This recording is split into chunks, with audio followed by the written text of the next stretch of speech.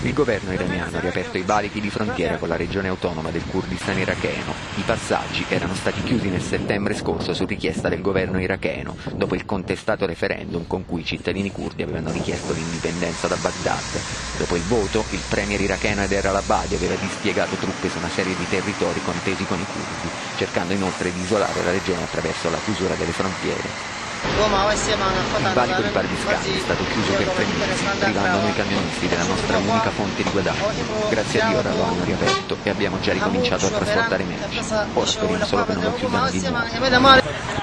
Da Parviscan, il posto di confine che separa l'Iran dalla città curdo-irachena di Soleimania, epicentro finanziario della regione, passa il 50% dell'export iraniano verso l'Iraq.